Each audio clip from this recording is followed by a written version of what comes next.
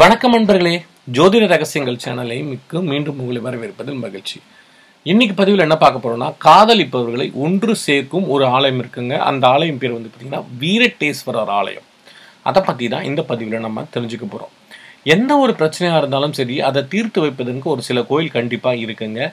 இப்படி தனித்துவம் வாய்ந்த ஒரு கோவில்களில் ஒவ்வொரு பிரச்சனை இருக்கும்போது காதலிப்பவர்களை ஒன்று சேர்ப்பதற்கு ஒரு கோவில் எதுவும் உண்டாக என்பது பலருடைய கேள்வி.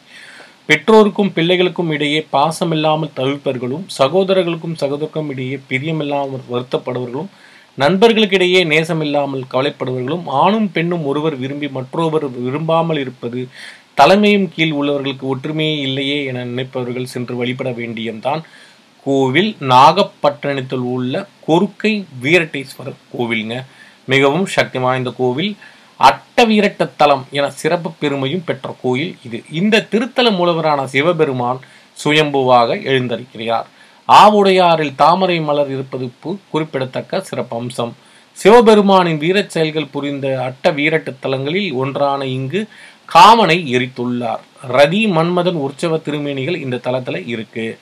தீர்த்தவாகு முனிவர் என்ற முனிவர் இறைவனுக்கு திருமு திருமுழுக்காட்ட கங்கையை கொண்டு வந்த சிறப்பு பெற்ற தலம் இந்த தலம்.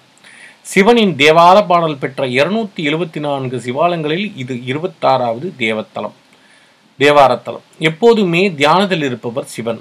அவரது தியானத்தால் உலகம் வெப்பத்தால் தகித்தது. இதை உணர்ந்த தேவர்கள் முருகப்பெருமானிடம் சென்று முறையிட்டனர்.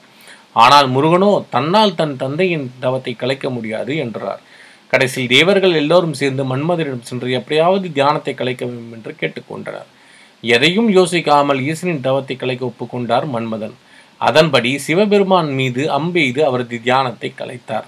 எம்பெருமான் மீது கணை தொடுக்க கோபமடைந்த ஈசன் நெற்றிக்கண்களால் மண்ணை மன்மதனை எரித்து விடுகிறார். பஸ்மமாக்கிய மன்மதனை கண்டு பதறிப்போன ரதிதேவி அதன்பின் ஈசனிடம் சென்று தன் கணவரை மீட்டு தர வேண்டினாள். சிவபெருமானின் அருட்கோற்றார்த்தால் மன்மதன் உயிர் பெற்றான். ஈசன் இல்லத்தில் காமதகன மூர்த்தியாக அருள் பாதித்து வருகிறார். பாசம் பிரியம் நேசம் விருப்பம் அன்பு ஆகியவற்றால் பாதிக்கப்பட்டவர்கள் இந்த கோவிலுக்கு சென்று இங்குள்ள காமதனை மூர்த்தியை வழிபட்டால் தங்களது விருப்பம் உடனே நிறைவேறும் என்பது ஆணித்தனமாக இங்கு அனைவரும் சென்றவர்கள் நம்பிக்கையுடன் தெரிவிக்கின்றனர் ஆலயம் வந்து பார்த்தீங்கன்னா காலையில் ஏழு மணிலேருந்து பன்னெண்டு மணி வரைக்கும் ஈவினிங்கில் மூன்றரை மணிலேருந்து ஒன்பது மணி வரைக்கும் திறந்திருக்காங்க.